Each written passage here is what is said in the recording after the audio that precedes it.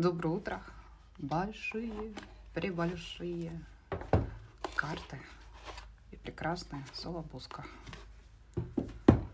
Что они нам сегодня подскажут? Ой, руки не помещаются.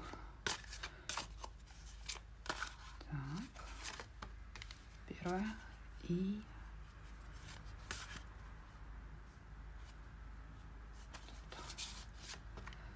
вторая карта.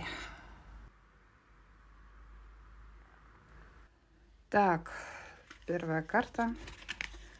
Такая интересная троечка жезлов. А, довольно странно она, конечно, выглядит. Наверное, не очень э, себя комфортно чувствует человек, которого заколотили три жезла.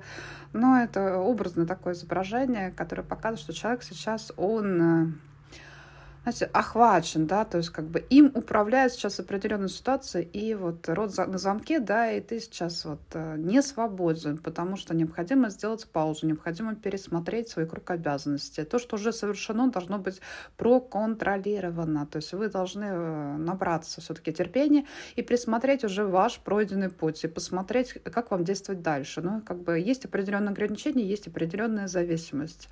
То, что не можешь свободно двигаться, не можешь полететь так, где хотелось, да, не можешь вот, э, заняться тем, на самом деле, что, к чему у тебя душа лежит, но обязанности есть обязанности. Так, вторая карта, ну, кому же страшно. Открываем, не открываем, ну нафиг. Открываем.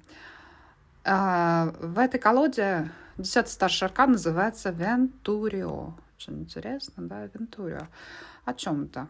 Есть определенные ритмы, законы, такие, знаете, колеса, механизмы судьбы, на которые, ну, в принципе, мы повлиять не можем. Можем а, предсказывать, да, то есть Таро предсказывает, астрология, нумерология, вот э, все эти оккультные науки, они все это уже хорошо изучили, и человек как бы грамотный, который понимает, что есть определенная энергия в его жизни, которая периодически повторяется, то есть все можно предугадать, все можно прочувствовать, все можно вот, заранее уже предсказать. И правильно использовать ритмы, те тренды, которые с вами происходят. И вам кажется, что темная полоса, но постарайтесь увидеть в этом какой-то позитив. Да? Если идет светлая полоса, приготовьтесь, а, может повернуться к чему-то ну, менее приятному.